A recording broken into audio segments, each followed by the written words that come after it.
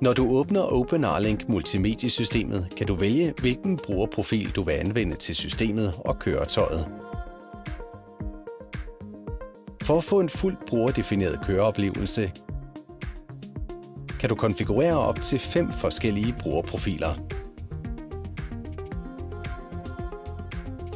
Tryk på denne tast, hvis du endnu ikke har oprettet en profil. Følg derefter instruktionerne på skærmen for at oprette en ekstra profil.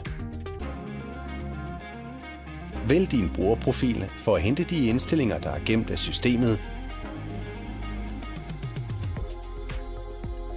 såsom dine MyRenault og Google-konti.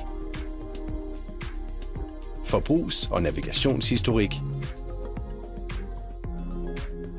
skærmvisninger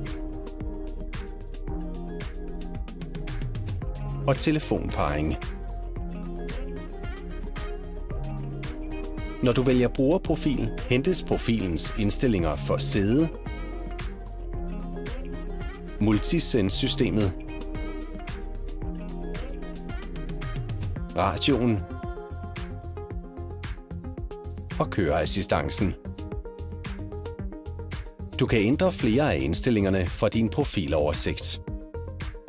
For at få adgang til dem, skal du rulle ned på skærmen for at åbne notifikationscentret. Vælg din profil og rediger derefter de ønskede indstillinger. Profilnavnet eller det tilknyttede billede. Vælg profilbeskyttelse for at ændre låseindstillinger for profilen. Sidst, men ikke mindst, kan du konfigurere dine MyRenault og Google-konti. Fra ikonet Indstillinger kan du administrere profiler og konti eller slette din profil. Af sikkerhedshensyn skal du altid foretage disse justeringer, når køretøjet holder stille.